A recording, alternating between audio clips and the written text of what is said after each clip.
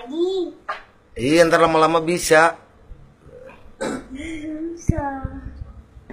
Masa nggak bisa sih?